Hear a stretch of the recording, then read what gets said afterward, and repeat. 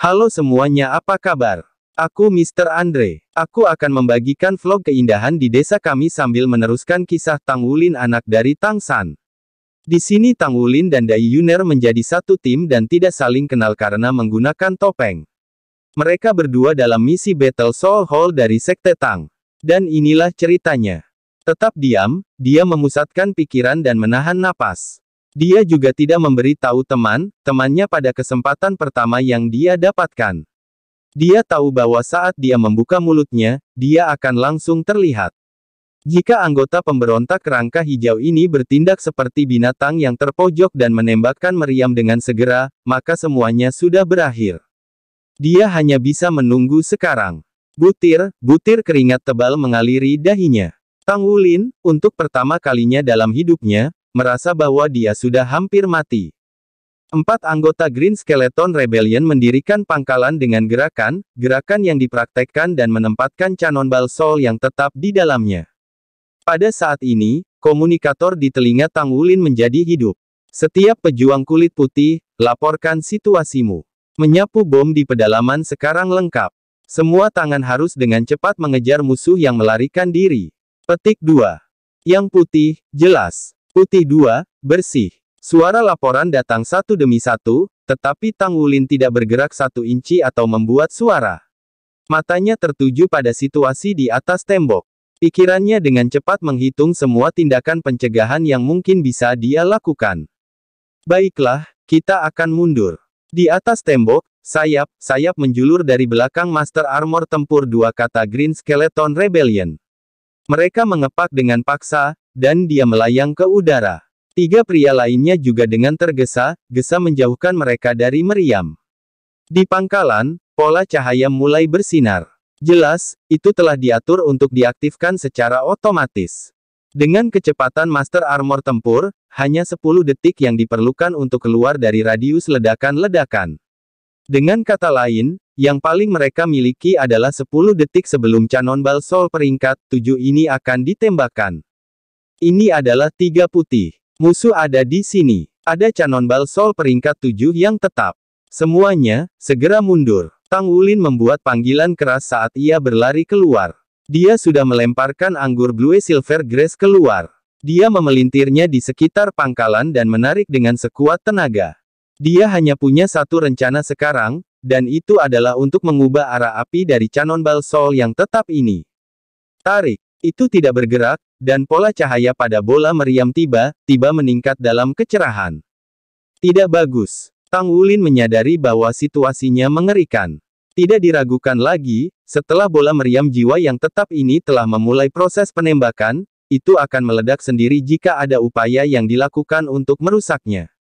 Waktu yang tersisa sebelum bola meriam meledak sendiri adalah tiga detik, yang berarti Tang Wulin hanya punya banyak waktu untuk bertindak. Tiga detik tidak cukup baginya untuk keluar dari jangkauan ledakan tidak peduli bagaimana dia melihatnya. Dalam tiga detik, semua yang ada di sini akan menjadi puing-puing. Pada saat kritis, pikiran Tang Wulin tiba-tiba menjadi sedingin es. Dia telah memasuki mode paling tenangnya. Matanya benar-benar keemasan sekarang.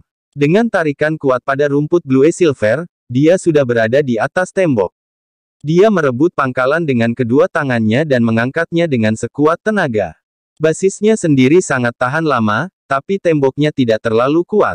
Di bawah kekuatan Tang Wulin yang sangat besar, seluruh pangkalan dengan meriam jiwanya tetap peringkat tujuh, dicopot dari atas tembok. Tanpa jeda sesaat, Tang Wulin memusatkan semua kekuatannya ke lengan kanannya. Armor pertarungannya memancarkan cahaya gemerlap saat dia dengan cepat mengayunkan tubuhnya di atas dinding. Sama seperti detik pertama telah berakhir, dia melempar meriam, beserta pangkalannya, tinggi ke udara.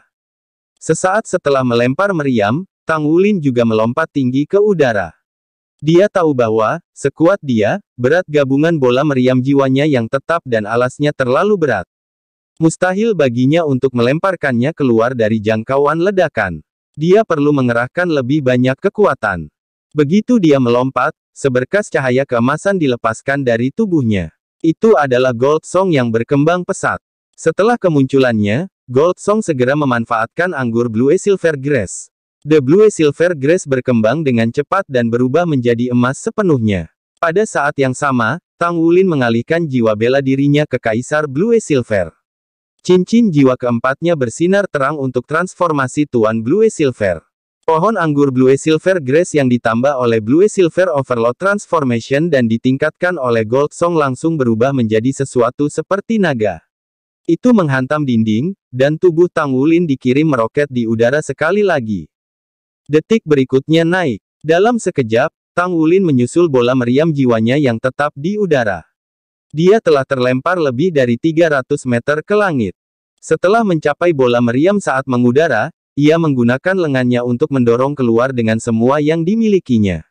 Kepala naga emas raksasa muncul. Itu adalah naga emas yang mengejutkan surga. Naga emas ini mengejutkan surga bukan untuk menyerang, tetapi menyodorkan dengan semua kekuatannya. Canonbal Sol peringkat 7 dengan cepat melesat ke langit seperti meteor. Ia dengan cepat melampaui ketinggian lebih dari 1000 meter dan melanjutkan pendakiannya dengan kecepatan tinggi. Bola meriam dan alasnya benar, benar ditelan dalam kepala naga emas yang telah dimanifestasikan melalui naga emas mengejutkan surga. Boom! Pajangan indah dari lampu meledak di langit yang tinggi. Kekuatan ledakan mengerikan menerangi langit seperti kembang api raksasa. Kembang api itu memiliki tujuh warna. Kekuatan ledakan mengerikan merobek seluruh langit, membuat air mata yang menyerupai lubang hitam. Tang Wulin telah mengandalkan momentum dan mengejar bola meriam jiwa tetap pada ketinggian 300 meter. Namun, ia terus terbang sampai ketinggiannya sekitar 500 meter atau lebih sebelum ia menabrak meriam ke atas. Selama saat ini, ledakan besar bola meriam jiwa di langit langsung membawa gelombang kejut yang mengerikan. Itu menabraknya seperti lalat dari ketinggian 500 meter. Tang Wulin merasakan dadanya kencang, karena seluruh tubuhnya terasa seperti ditumbuk menjadi daging cincang oleh gelombang kejut. Pakaian yang dia kenakan menjadi abu sekaligus, termasuk topeng di wajahnya. Yang bisa dia lakukan adalah melepaskan tubuh naga emas yang mendominasi. Sisik di tubuhnya berkilau dengan kuat. Namun, gelombang kejut apokaliptik masih sangat besar. Tubuh naga emas yang mendominasi berkedip selama beberapa detik sebelum cahayanya padam. Tang Wulin meludahkan seteguk darah segar. Dia baru saja akan jatuh ke tanah. Pada saat yang tepat, sosok emas gelap naik ke atas dan menangkap Tang Wulin yang jatuh, seolah-olah secara kebetulan. Sementara itu, ledakan cahaya emas gelap meledak ke arah langit dan membentuk tirai bercahaya yang mencegah gelombang kejut mencapai kota. Armor emas gelap menutupi seluruh tubuh sosok itu. Sepasang sayap terbuka lebar di belakangnya, dan zirahnya berkedip dengan pola yang indah. Itu adalah baju tempur pertempuran tiga kata. Si hitam telah bergerak. Ketika dia mendengar laporan panik Tang Wulin, Black One bergegas keluar secepat mungkin. Karena dia berada di bawah tanah sebelum ini, membuatnya keluar dari gedung agak menunda dia. Itulah sebabnya ketika dia bergegas ke posisi yang ditugaskan Tang Wulin, adegan yang dia lihat adalah Tang Wulin mengejar ketinggalan dengan bola meriam jiwanya yang tetap di udara, dan kemudian memukulnya ke atas. Lalu datanglah ledakan besar yang merobek langit. Jika bukan karena penampilannya yang cepat, jatuh dari ketinggian seperti itu dengan penambahan tekanan gelombang kejut akan membuat Tang Wulin lumpuh jika tidak mati. Kemampuan Master Armor pertempuran tiga kata sepenuhnya dipajang. Gelombang kejut yang sangat besar telah diblokir dengan kuat dari mencapai kota 300 meter di atas tanah. Kekuatan terbesar bola meriam jiwa tetap adalah pada titik asalnya. Itu meledak di langit tanpa halangan dan menyebar ke segala arah. Tanah telah terguncang, dan suara kuat ledakan telah menghancurkan semua kaca dalam radius beberapa kilometer, tetapi kekuatan destruktif Canon Bal Sol Sol terkuras sepenuhnya berkat penghalang tepat waktu Black One. Hitam satu turun dari langit dan menarik sayap di punggungnya, tetapi sedikit ketakutan melintas di matanya setelah acara tersebut. Meskipun dia yakin bahwa armor perang tiga kata itu akan melindunginya dari ledakan besar, tetapi di jalan, jalan yang sibuk ini, berapa banyak orang yang akan selamat. Anggota Battle Soul Hall, bahkan para pejuang ungu, pasti akan terbunuh dalam keadaan seperti itu. Gelombang kekuatan jiwa lembut mengalir ke tubuh Tang Wulin. Itu adalah metode surga misterius. Efek dari kekuatan jiwa yang Black One masukkan ke tubuhnya segera menjadi jelas, menenangkan esensi darahnya yang mendidih. Orang baik, kerja bagus. Suara si hitam yang tulus dan tegas memotong dengung di telinga Tang Wulin. Uh, dia meludahkan seteguk darah, tapi Tang Wulin langsung merasa jauh lebih baik. Jika itu orang lain, tubuh mereka akan hancur setelah menerima beban gelombang kejut di udara. Namun, dia mengandalkan kemampuan fisiknya yang luar biasa dengan perlindungan tubuh naga emasnya yang mendominasi dan tidak terlalu terluka saat ini.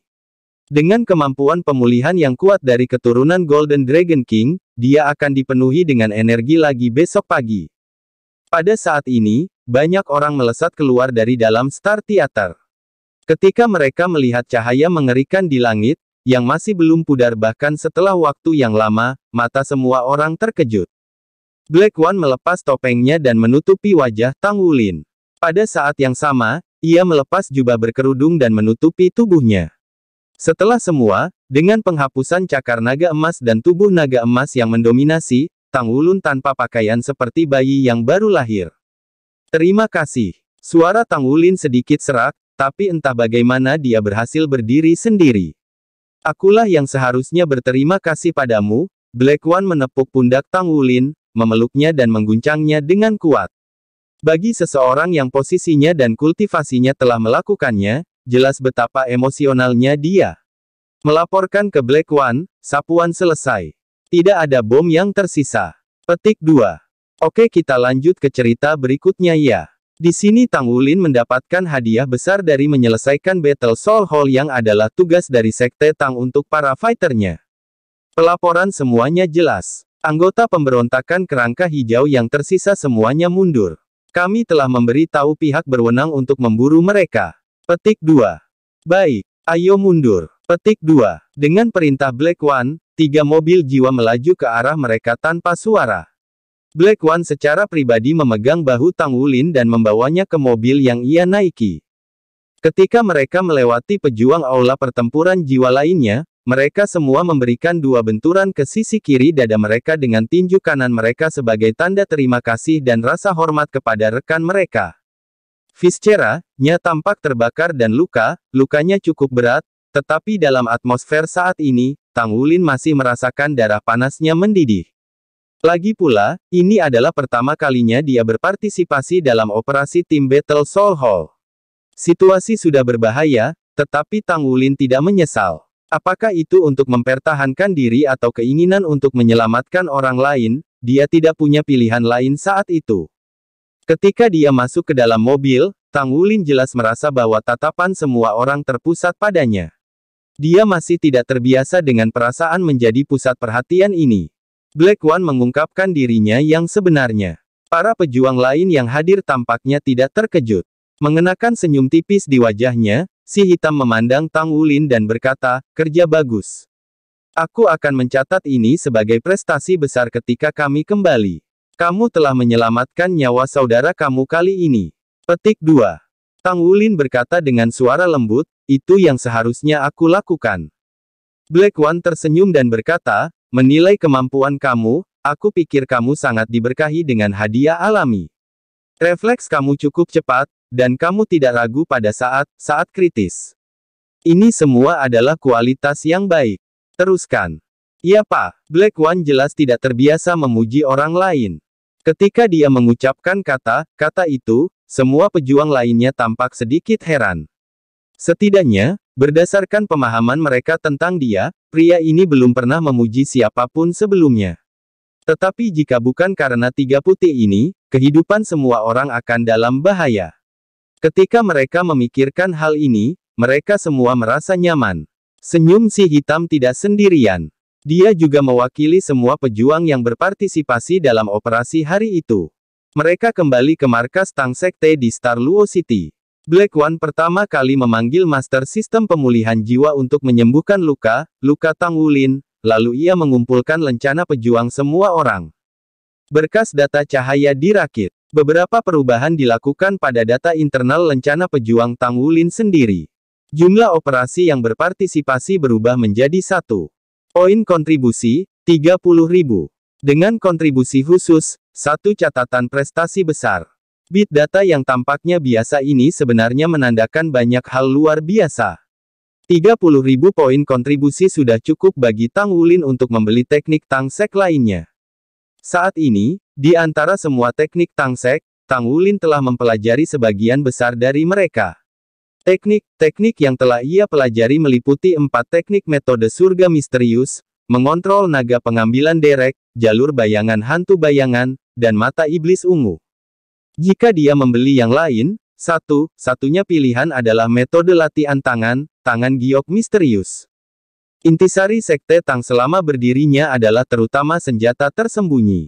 Banyak senjata tersembunyi dibubuhi racun, dan budidaya misterius Jade Hands bisa sangat meningkatkan kekuatan dan kekuatan tangan seseorang. Mereka akan kebal terhadap racun dan tahan lama seperti baja dan batu. Tampaknya tangan giok misterius adalah yang paling tidak signifikan di antara lima teknik Tang Sekte, tidak termasuk senjata tersembunyi seratus pemisahan. Meski begitu, jika itu terdaftar sebagai teknik Sekte Tang, pasti ada alasan untuk itu. Adapun senjata tersembunyi seratus pemisahan, telah dimodifikasi oleh generasi Tang Sekte yang tak terhitung jumlahnya sampai hari ini. Meskipun namanya tidak berubah, itu berisi sejumlah besar ajaran sirkuit jiwa yang halus. Mereka telah menyatukan senjata, senjata kuno dan sirkuit inti alat jiwa bersama, sama dan memahami mereka secara menyeluruh. Di antara berbagai alat jiwa yang diproduksi oleh Sekte Tang, sebagian besar dari mereka lahir dari pengetahuan teoretis yang terkandung dalam Hidden Weapons Hundred Separations. Oleh karena itu, itu yang paling berharga di antara teknik Sekte Tang. Itu juga membutuhkan poin kontribusi paling besar. Tapi Tang Wulin adalah pandai besi dan bukan pembuat mesia, itulah sebabnya dia tidak memiliki banyak kebutuhan untuk tersembunyi senjata seratus pemisahan. Itu bahkan lebih luar biasa baginya untuk memiliki jasa besar dalam ganjarannya. Keuntungan terbesar dari jasa besar adalah bahwa di cabang Tang Sekte mana pun pembawa memiliki kekuatan untuk memanggil murid-murid Tang Sekte satu kali. Tang Wulin telah dihargai dengan panggilan pertemuan Tang Sekte. Dia bisa menggunakan panggilan ini untuk mengumpulkan 30 pejuang Tang Sek Battle Soul Hall untuk melaksanakan misi, seperti yang baru saja mereka lakukan. Prasyaratnya adalah bahwa misi itu tidak melanggar kode moral mereka. Mereka adalah pejuang Tang Sekte. Apa artinya 30 pejuang Tang Sekte? Ini sebabnya setelah Tang Wulin mendengar penjelasan fungsi panggilan sekte dari Yang Hitam, dia benar-benar heran. Ini praktis merupakan alat ilahi. Black One tidak menanyakan tentang nama dan latar belakangnya. Ini adalah aturan dari Battle Soul Hall. Selama dikonfirmasi bahwa lencana itu asli dan kompatibel dengan esensi darah petarung itu sendiri, mereka tidak akan dengan gegabah bertanya tentang asal-usul petarung lain. Pejuang yang berbeda memiliki profesi dan kehidupan mereka sendiri di tempat yang berbeda. Alasan untuk kekuatan aula pertempuran jiwa Tang Sekte adalah bahwa itu tersebar di setiap sudut benua. Seperti berapa banyak pejuang di sana, hanya beberapa petinggi Tang Sek yang tahu. Unit dengan kekuatan individu terbesar dalam Sekte Tang secara alami adalah aula ibadah. Namun, Battle Soul Hall tidak diragukan lagi organisasi dengan kekuatan keseluruhan yang paling kuat. Ketika Tang Wulin kembali ke hotel, hari sudah larut malam. Dia benar, benar lelah hari ini. Sumber kelelahan terbesar adalah hatinya sendiri.